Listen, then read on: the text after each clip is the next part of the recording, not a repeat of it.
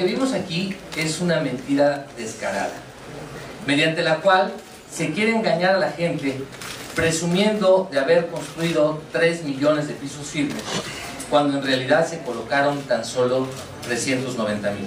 La señora Vázquez Mota miente y que le está diciendo al pueblo de México que ella obtuvo un resultado que está resultando totalmente falso. Eso es lo que nosotros estamos diciendo. Lo único que estamos haciendo es ejerciendo acciones concretas ante el IFE y la autoridad reguladora.